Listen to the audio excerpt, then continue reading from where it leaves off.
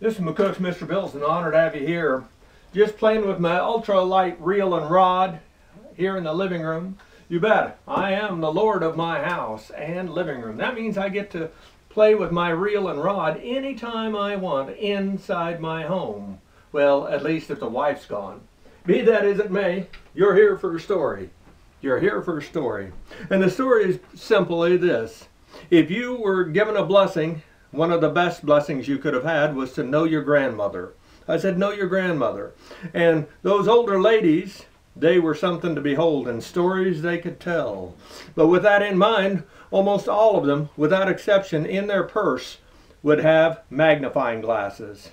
This old magnifying glass, they'd get it out to read small print, be it on their prescription bottles or any general reading literature, because their eyesight wasn't that good, even with glasses that amplified it and allowed them to be able to read better.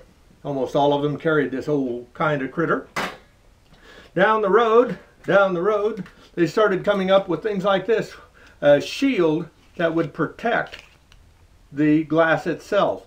And of course, it has a light in it too. It shows a, a good strong light along with amplification. A nice critter to have for anybody, you bet, as well as the older people. But some like something solid. That way they have hands free. And once you have two hands free, that uh, opens up a whole new door of things that you're able to do.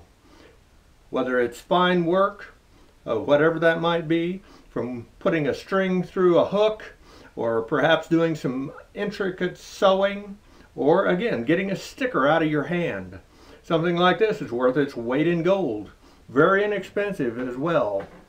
Something else you might want to consider, for just a few dollars, two, at the most three dollars, you can buy a pair of glasses that are three power, but for short range.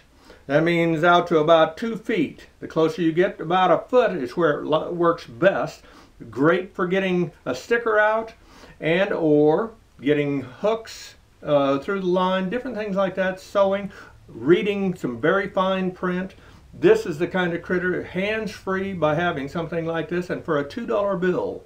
For a $2 bill. Is that something that might interest you? Even if you got good vision, there's times when it's awfully hard to see something. These, for a few dollars, amplify and give you that ability. Give you that ability. Now I'd finish it with this.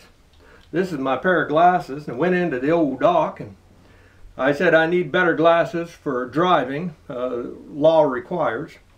And so he signed up and looked this up and got me all checked out. And he said, well, your glasses are going to be $900. And I said, whoa, whoa, whoa, whoa, $900? And he said, yeah. And I said, well, what's that into? He said, well, it'll be uh, trifocals. And I said, I don't want anything but a driving glass. One type of driving, driving glass. I don't want multiple lines in there or anything like that because I, I just don't, I can read good enough as far as that goes up front here, I read reasonably good. So I don't need anything but a driving glass. And so he wrote it up that way to $200 for a pair of glasses. $200 for a pair of glasses compared to 900 that he was going to tack on. And I still have these abilities. And if it gets really finite, again, a $2 pair of glasses and I can see more than even his high dollar ones would have done for me. This is McCook's Mr. Bill saying, think smart, buy smart, and always have the ability to see better than your old eyes can. And it's right here for a few dollars. Thank you for your time.